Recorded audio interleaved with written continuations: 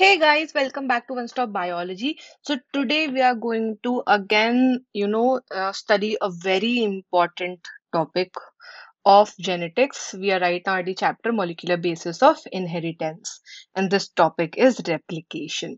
So basically, in this video, we are going to study replication, the experimental proof of replication, and what is the exact machinery and what are the enzymes which are involved in replication, right? So, guys, before I start off with the topic, I would request you to please like the video if you do understand the topic and please do not forget to mention your feedback in the comment section.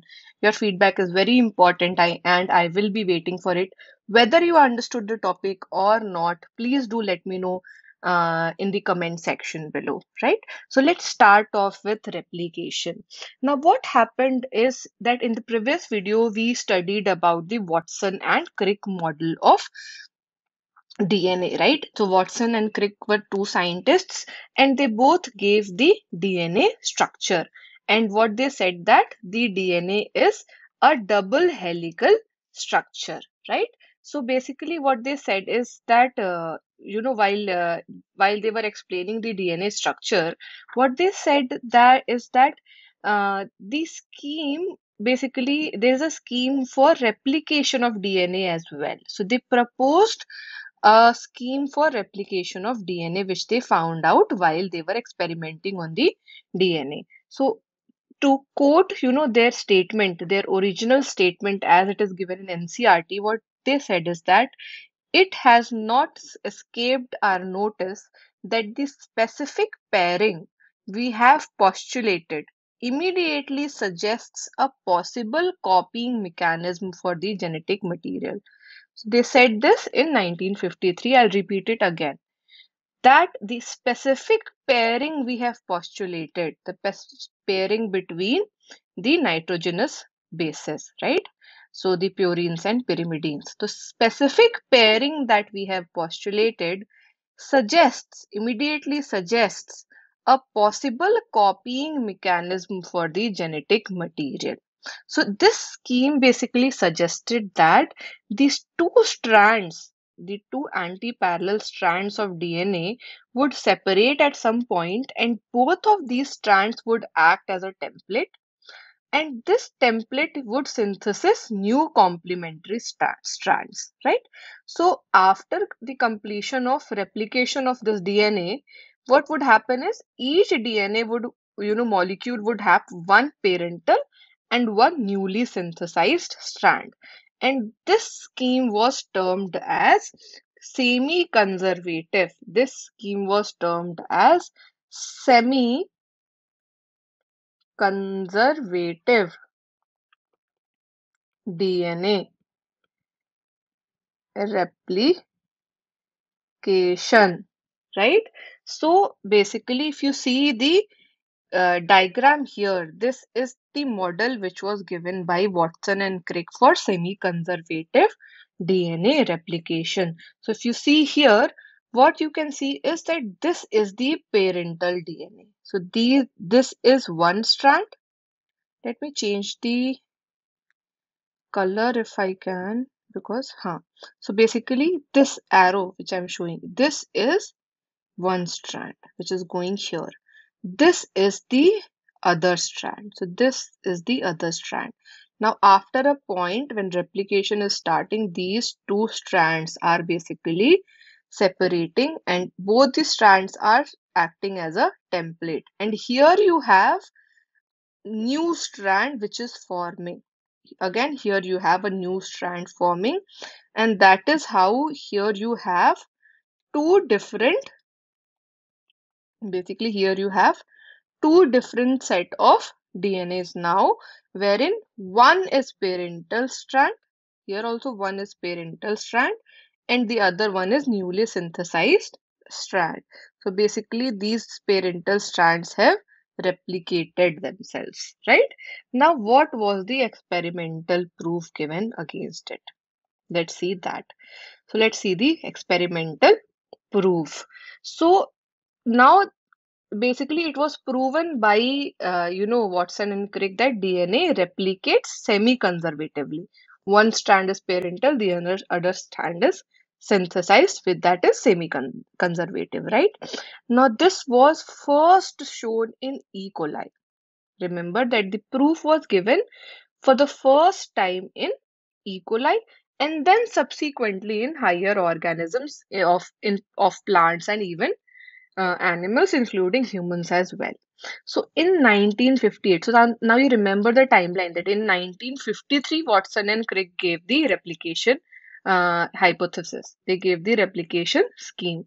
Now in 1958 basically if you uh, want to know the experiment's name it is Meselson and Stahl experiment. And it was basically given by two scientists Matthew Meselson Matthew Meselson and Franklin Stahl. And that is how it is known as Meselson and Stahl's experiment so in 1958 they performed an experiment using E. coli proving that DNA replicates semi-conservatively, right? So what they did, now what they did is they grew E. coli in a medium. So what we can do is we can basically, you know, study this with the help of the diagram itself, right? So this is the diagram. Let me just, you know, uh, yes. I hope it is completely visible to you guys. Let me just clear the screen as well once. Yeah. So what they said is, what they did is they grew E. coli in a medium containing NH4Cl, right? In a medium containing ammonium chloride, right? Now, basically here there was N15. So basically this ammonium chloride, the nitrogen was 15. This is basically N15 is the heavy isotope of nitrogen, right? So basically they they uh, uh, uh, grew E. coli in a medium containing ammonium chloride with nit only nit basically as the only nitrogen source for many generations. So what they gave is the heavy isotope of nitrogen was the only source for many generations of E. coli. Now the result that they got was that this you know N15 was incorporated into newly synthesized DNA, right? So this was incorporated in the newly synthesized DNA, right? Now this heavy DNA, because this was the heavy isotope of nitrogen, we'll call it as heavy DNA. So this heavy DNA molecule could be easily distinguished from the normal DNA by centrifugation in the cesium chloride density gradient. So what happens is if you centrifuge this basically the entire DNA molecule, the heavy DNA molecule can be easily distinguished, right? Now remember again that N15, the heavy nitrogen, the heavy isotope of nitrogen is not a radioactive isotope, right? And it can be separated based on densities. It is not an not a radioactive isotope. It's just a heavy isotope of nitrogen, right?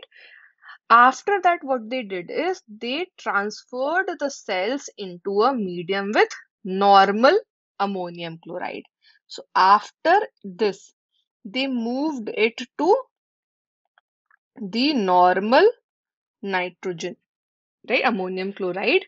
So with the here you had heavy isotope, here you have normal isotope of nitrogen now, right? And they took samples at various definitive time intervals. They took samples at different time intervals. So when the cells multiplied, right? They when the cells multiplied, they took various samples at different time intervals. And then they extracted the DNA, right? So they extra extracted the DNA that remained as double-stranded helix. They extracted these DNAs. Now again, with the help of cesium chloride, the various samples were separated depending on the densities, right? So basically, now what they did is that the DNA that was extracted from the culture 1 generation, right, with the nine basically from the transfer from nitrogen 15 to nitrogen 14 medium right, had a hybrid, had a hybrid or intermediate density, right? And DNA extracted from the culture after another generation, right?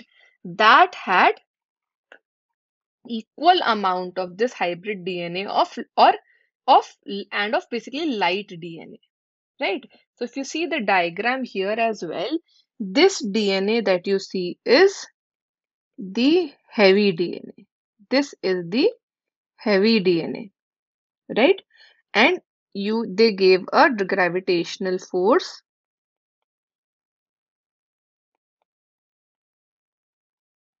right? This basically is a sample of heavy DNA, right? So this is heavy. Now after 20 minutes, what they did is they got generation 1. In generation 1, they had light, the normal DNA, as well as heavy DNA. Right, so here the DNA that they got was normal and heavy both. Now in the second generation, so basically after 40 minutes in generation 2, now you can, you know, kind of think it as the uh, uh, the Mendel's experiment that we used to do, do, right? The first generation, the second generation. So now they got the mixed DNA in the first generation. Then after 40 minutes, now what happened is they got four different kind of DNA. This was completely light. This had heavy as well as light. And again, there was one light. Right? So basically here they got a hybrid and a light one. The hybrid was this and light was this. Right? So here now you see what is happening is basically first this basically this segregated and one strand was the parental strand was heavy and the other strand formed was light. Again, the parental strand was heavy because it was treated in heavy nitrogen. The other strand was light, right? Now, again, after some time, what happened is, if you see here, there is one strand which is heavy, which goes here, and the other strand is light, parental strand, which goes here. Again, here, you have one strand as heavy, which goes here, the light parental strand goes here. And the other DNA strands formed are all light because again they are not treated, right? So you see that one of the strand in all the generation is getting one of the parental strand basically is getting transferred is getting these are segregating these are separating and one of you'll see in the two daughter strands one strand is parental and the other strand is newly formed strand right so with this they confirmed that dna is semi-conservative. With this experiment they confirmed that dna is semi-conservative. Now the, after that after this experiment when this was proven there were several other experiments which again uh, you know which basically confirmed the theory that dna replicates and it is semi-conservative right now let's see what is the exact machinery and what are the enzymes which are involved in replication, right? So in living cells such as say E. coli, the process of replication requires a set of catalysts. So it is not a you know self-motivated process. This entire process requires catalysts or what we call it as enzymes it is known as enzymes right? Now the main enzyme is referred to as dna dependent dna polymerase. The main enzyme is known as dna polymerase. The main enzyme is dna polymerase right This basically this uses a DNA template to catalyze the polymerization of deoxynucleotides. The deoxynucleotides are polymerized by the DNA template using this enzyme. So this is the main enzyme. Remember the name DNA polymerases, right? Now the these enzymes basically are highly efficient enzymes. And why they are known as highly efficient enzymes? Because they have to catalyze polymerization of a large number of nucleotides in a very short time, right? So, for example, say E. coli that has 4.6 into 10 to the power 9 base pairs if we compare it to humans, which has a diploid content of 6.6 into 10 to the power 9 base pair, they complete the process of replication within 18 minutes. Guys, remember that the process of replication is completed within 18 minutes. So the average rate of polymerization is 2000 base pairs per second. So you remember that in your body, 2000 base pairs are being replicated every second per second. So you can, you know, you kind of get the pace at which polymerization happens, right? So these enzymes are highly efficient, right? And now not not the, these polymerases, these DNA polymerases, they just not have to be fast, but they have to be highly accurate as well, right? So they are basically fast as well as highly accurate. Now, why they have to be highly accurate? Because any small mistake during replication would result into mutation, and these mutation would cause genetic disorders, right? So, any small mistake in replication would result into a disorder, right? Now, energetically, if we talk about how much energy replication consumes, it is a very expensive process, guys. It is a very expensive process, right? So what happens is there are deoxynucleotide nucleoside triphosphates, right? There are basically deoxynucleoside triphosphates which serve dual purpose, right? So basically, in addition to acting as substrates, they act as substrates. They also provide energy for polymerization. What provides energy for polymerization? Deoxy ribonucleoside triphosphate.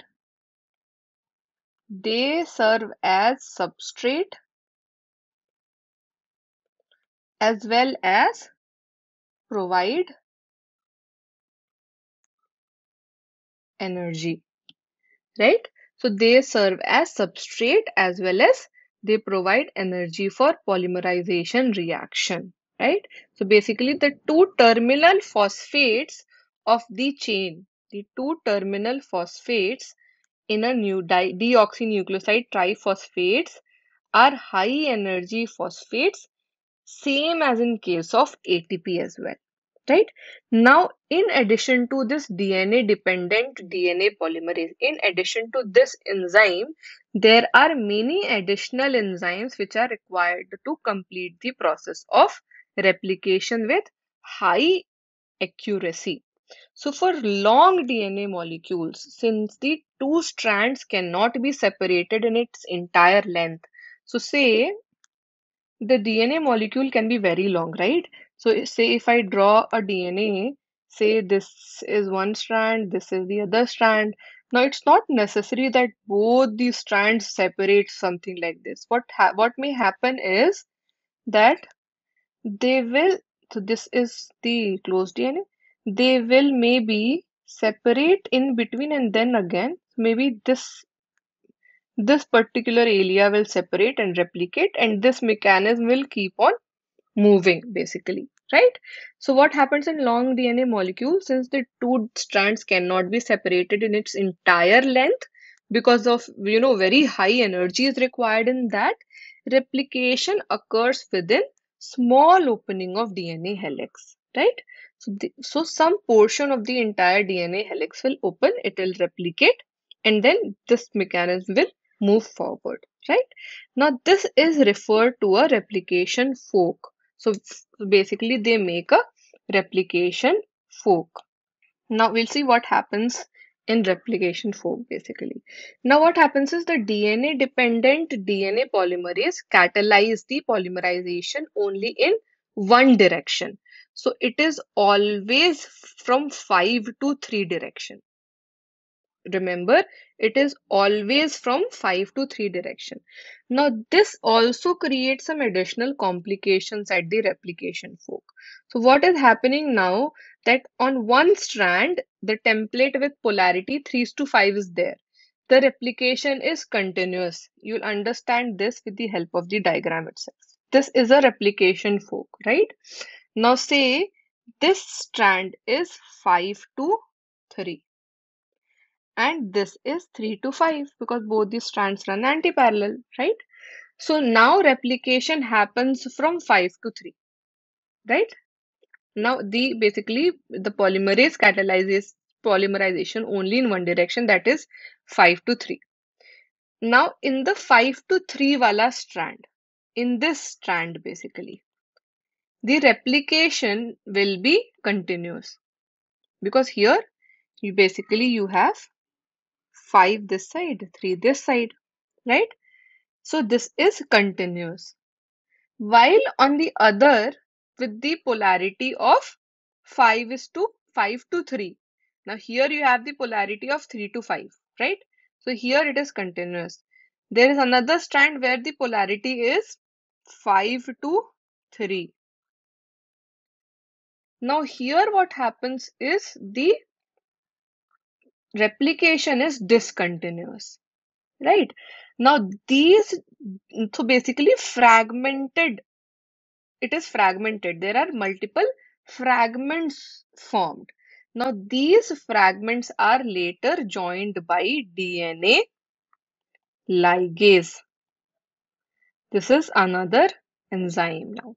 Dna ligase joins these discontinuous synthesized fragments so this is another enzyme apart from DNA polymerase, right? Now the DNA polymerase on their own cannot initiate the process of replication. Another challenge that the DNA polymerases on their own cannot initiate the process of replication. And replication does not initiate randomly at any place.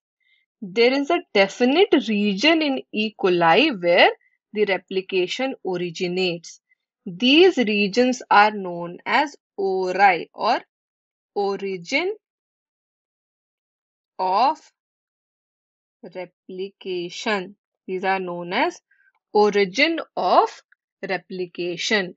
Now, this is because of the requirement of origin of replication that a piece of DNA, if needed to be propagated during recom recombinant DNA procedures, requires a vector.